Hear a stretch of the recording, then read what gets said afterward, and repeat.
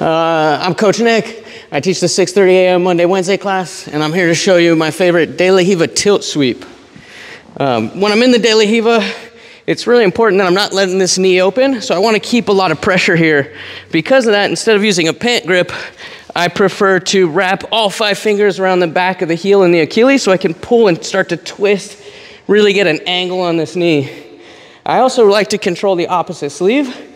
And I know that my partner's always gonna try to kill this hook. So when he reaches for that foot, I'm gonna sit up, grab the sleeve.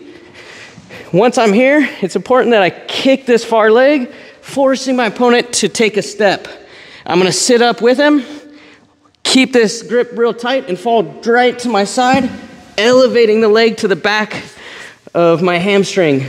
From here, I can start to climb up on my elbow and if I pull this sleeve out from under, I can often get the tilt sweep here, keeping the pressure on the knee.